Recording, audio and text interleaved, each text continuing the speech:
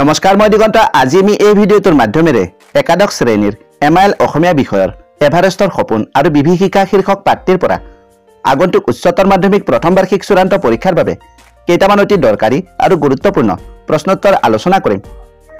সকলো তথ্য ভালদৰে আয়ত্ব কৰিবলৈ তোমালোকে এই ভিডিঅ'টো সম্পূৰ্ণ কৰি শেষলৈকে চাবা।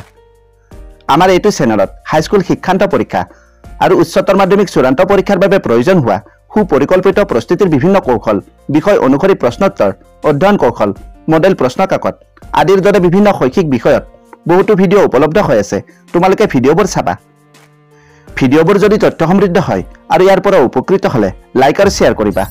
চেনেলটো যদি ছাবস্ক্ৰাইব কৰা নাই দৰকাৰী আৰু তথ্য সমৃদ্ধ ভিডিঅ'ৰ নটিফিকেশ্যন পাবলৈ চেনেলটো ছাবস্ক্ৰাইব কৰি লোৱা। তোমালোকে মনোযোগেৰে ভিডিঅ'টো উপভোগ কৰি প্ৰশ্নোত্তৰসমূহ ভালদৰে আয়ত্ব কৰি ল'বা। প্ৰথমতে আমি অতি চমু প্ৰশ্নৰ উত্তৰসমূহ আলোচনা কৰিম। প্ৰতিটো প্ৰশ্নত এক নম্বৰকৈ মূল্যায়ন কৰা হ'ব। ব'লা এতিয়া ভিডিঅ'টো আৰম্ভ কৰোঁ। প্ৰশ্ন নম্বৰ এক এভাৰেষ্টৰ সপোন আৰু বিভীষিকা নামৰ পাঠটোৰ লেখক কোন? উত্তৰটো হ'ব এভাৰেষ্টৰ সপোন আৰু বিভীষিকা নামৰ পাঠটোৰ লেখক হ'ল প্ৰণৱ বৰদলৈ।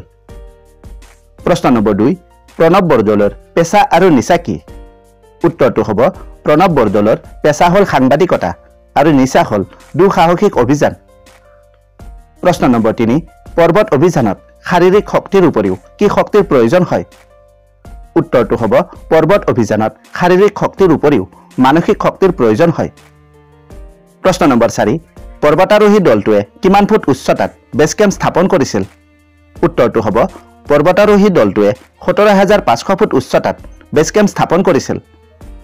প্ৰশ্ন নম্বৰ পাঁচ লেখক তথা তেওঁৰ সতীৰ্থ বৃন্দই কাৰ নেতৃত্বত দুহেজাৰ পোন্ধৰ চনত অসম এভাৰেষ্ট অভিযান নাম দি এভাৰেষ্টলৈ অভিযান চলায়। উত্তৰটো হ'ব লেখক তথা তেওঁৰ সতীৰ্থ বৃন্দই মানক বৰুৱাৰ নেতৃত্বত দুহেজাৰ পোন্ধৰ চনত অসম এভাৰেষ্ট অভিযান নাম দি এভাৰেষ্টলৈ অভিযান চলায়। প্ৰশ্ন নম্বৰ ছয় এভাৰেষ্ট আৰোহণ কৰাৰ সময়ত লেখক তথা তেওঁৰ সতীৰ্থই কি পৰিধান কৰিছিল?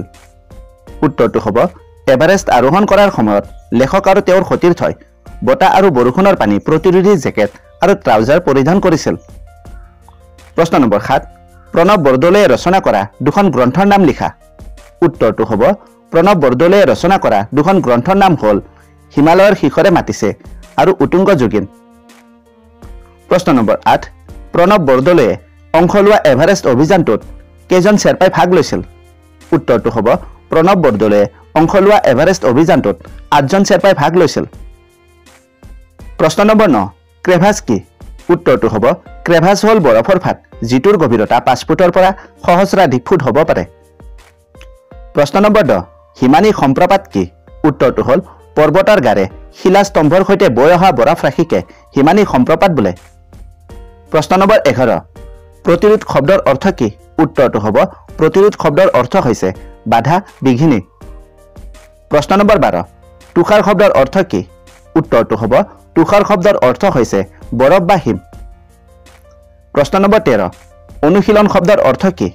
উত্তৰটো হ'ল অনুশীলন শব্দৰ অৰ্থ হৈছে অভ্যাস বা চৰ্চা। প্ৰশ্ন নম্বৰ চৈধ্য। পৃথিৱীৰ সৰ্বোচ্চ শৃংগ মাউণ্ট এভাৰেষ্ট সমুদ্ৰ পৃষ্ঠৰ পৰা কিমান ফুট উচ্চতাত অৱস্থিত? এইটো প্ৰশ্ন দুবাৰ আহিছিল দুহেজাৰ ঊনৈছ আৰু দুহেজাৰ তেইছ চনৰ ফাইনেল পৰীক্ষাত। উত্তৰটো হ'ব পৃথিৱীৰ সৰ্বোচ্চ শৃংগ মাউণ্ট এভাৰেষ্ট সমুদ্ৰ পৃষ্ঠৰ পৰা প্ৰায় ঊনত্ৰিছ হাজাৰ পঁয়ত্ৰিছ ফুট উচ্চতাত অৱস্থিত। যদি এইটো মিটাৰত লিখিবলৈ আহে তেতিয়া এনেদৰে লিখিব লাগিব আঠ হাজাৰ আঠশ পঞ্চাছ মিটাৰ। প্ৰশ্ন নম্বৰ পোন্ধৰ নেপালীসকলৰ জনবিশ্বাস মতে সাগৰমাথা মাউণ্ট এভাৰেষ্টৰ জীয়ৰী বুলি কাক জনা যায়? এইটো প্ৰশ্ন দুহেজাৰ বিছ চনৰ ফাইনেল পৰীক্ষাত আহিছিল। উত্তৰটো হ'ব নেপালীসকলৰ জনবিশ্বাস মতে সাগৰমাথা মাউণ্ট এভাৰেষ্টৰ জীয়ৰী বুলি পুমৰী শিখৰক জনা যায়। প্ৰশ্ন নম্বৰ ষোল্ল সাফলৰ শিখৰ আৰোহণ কৰিবলৈ হ'লে কি সপোন দেখিব লাগিব? এইটো প্ৰশ্ন দুহেজাৰ বাইছ চনৰ ফাইনেল পৰীক্ষাত আহিছিল। উত্তৰটো হ'ব সাফল্যৰ শিখৰ আৰোহণ কৰিবলৈ হ'লে সফলতাৰ সপোন দেখিব লাগিব।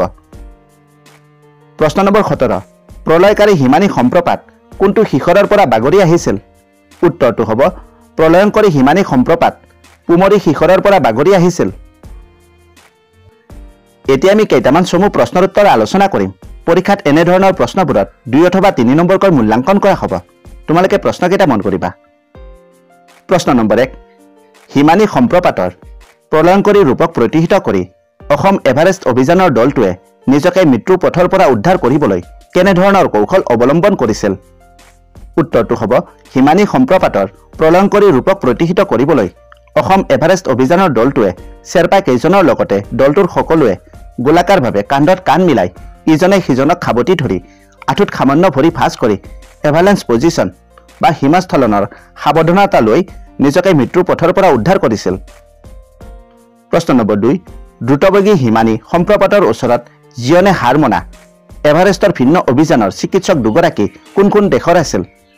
উত্তৰটো হ'ল দ্ৰুতবেগী হিমানী সম্প্ৰপাতৰ ওচৰত জিয়নে হাৰ মনা এভাৰেষ্টৰ ভিন্ন অভিযানৰ চিকিৎসক দুগৰাকীৰ এজন আছিল চীন দেশৰ আৰু আনজন আছিল আমেৰিকা যুক্তৰাষ্ট্ৰৰ।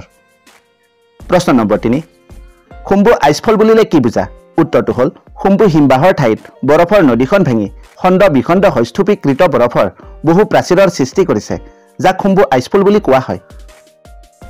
প্ৰশ্ন নম্বৰ চাৰি কাৰ নেতৃত্বত কোন অঞ্চললৈ ট্ৰেকিং অভিযানৰ অংশ লওঁতে লেখকৰ মনত এভাৰেষ্ট আৰোহণৰ সপোন ৰূপিত হৈছিল?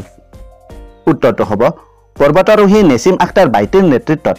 নেপাল হিমালয়ৰ হিলেম্বু অঞ্চললৈ এক ট্ৰেকিং অভিযানৰ অংশ লওঁতে লেখক প্ৰণৱ বৰদলৈৰ মনত এভাৰেষ্ট আৰোহণৰ সপোন ৰূপিত হৈছিল। প্ৰশ্ন নম্বৰ পাঁচ প্ৰথম অসমীয়া এভাৰেষ্ট আৰোহণকাৰী দুজন কোন কোন আছিল? এইটো প্ৰশ্ন দুবাৰ আহিছিল দুহেজাৰ ঊনৈছ আৰু দুহেজাৰ তেইছ চনৰ ফাইনেল পৰীক্ষাত। উত্তৰটো হ'ব প্ৰথম অসমীয়া এভাৰেষ্ট আৰোহণকাৰী দুজন আছিল তৰুণ শইকীয়া আৰু মণিক ডেকা। এনেদৰে প্ৰতিটো পাঠৰ দৰকাৰী আৰু গুৰুত্বপূৰ্ণ প্ৰশ্নোত্তৰসমূহ আলোচনা কৰা ভিডিঅ' আমাৰ এইটো চেনেলত পাই থাকিবা। ভিডিঅ'বোৰ তথ্য সমৃদ্ধ হ'লে চেনেলটো ছাবস্ক্ৰাইব কৰি ল'ব পাৰা। তোমালোকৰ ইংৰাজী পাঠ্যপুথিৰ চিলেবাছত থকা প্ৰতিটো গল্প আৰু কবিতাৰ সাৰাংশ শাৰী অনুসাৰে অসমীয়ালৈ ব্যাখ্যা পাঠভিত্তিক প্ৰশ্নৰ উত্তৰ চুটি প্ৰশ্নৰ উত্তৰ দীঘল প্ৰশ্নৰ উত্তৰ পৰীক্ষাৰ বাবে দৰকাৰী সকলো প্ৰশ্নৰ উত্তৰ গ্ৰামাৰ আৰু ৰাইটিং ছেকশ্যন এনেবোৰ বিষয়ত বহুতো ভিডিঅ' প্ৰস্তুত কৰি পৃথকে প্লে'লিষ্ট বনাই থৈছোঁ। ডেছক্ৰিপশ্যনত লিংকবোৰ আছে। তোমালোকে ভিডিঅ'সমূহ চাবা। আজিলৈ ভিডিঅ'টো ইমানতে এৰিলোঁ। এই ভিডিঅ'টো বন্ধু বান্ধৱীৰ লগত শ্বেয়াৰ কৰিবা আৰু ভিডিঅ'টোৰ বিষয়ে নিজৰ মতামত দিবলৈ নাপাহৰিবা অতি সোনকালে। আন এটা আকৰ্ষণীয় বিষয়ৰ সৈতে পুনৰ লগ পাম। ধন্যবাদ।